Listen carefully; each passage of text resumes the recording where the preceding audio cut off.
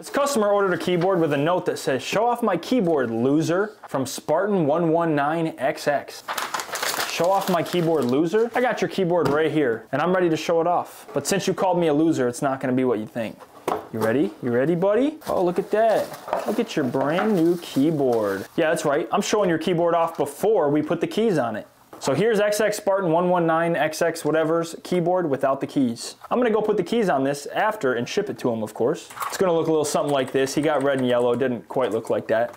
But I'm not gonna show his keyboard off with keys because he called me a loser. So yeah, here's your keyboard. Hope you like it, bro. Looks pretty good, 10 out of 10. Anyway, I'm gonna go put the keys on this and ship it out to him. But yeah, don't, don't call me a loser, okay? I only lose at Call of Duty, okay? I don't lose at anything else besides like every other game out there.